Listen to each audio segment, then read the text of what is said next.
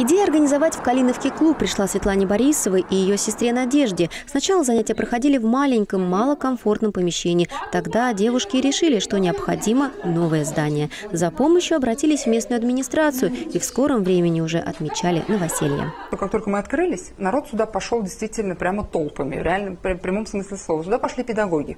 Оказалось, что в Калиновке очень много талантливых людей, которые просто спрятались где-то там у себя в домах и сидели спокойно, даже не подозревая. Как только точка доступа доступа появилась, люди сразу стали себя проявлять. Клуб Содружества, по сути, общественная организация, поэтому педагоги бесплатно занимаются с детьми. За этот год здесь открылось множество кружков. Особым спросом пользуется театральный. Арина и ее брат Алан с удовольствием участвуют в спектаклях и разучивают сценки для КВН. А сегодня впервые привели на занятия свою младшую сестренку Еву. Мы готовимся выступать на КВН. Мне здесь нравятся всякие сценки ставить там. Подготавливаем выступления к разным праздникам.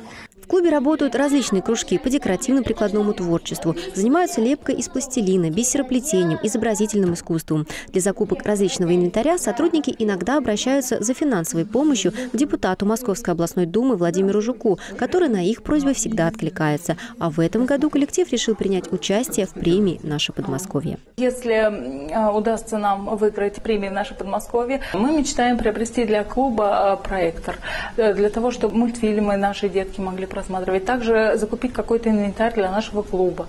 Сейчас в клубе зарождается новый коллектив. Один из педагогов изъявил желание создать небольшую вокальную студию для детей. Так что в ближайшем будущем своим музыкальным творчеством ребята будут прославлять Калиновку уже в районе, а возможно и в области. Ирина Бокова, Данил Свидерский, Екатерина Чернышова. Видное ТВ.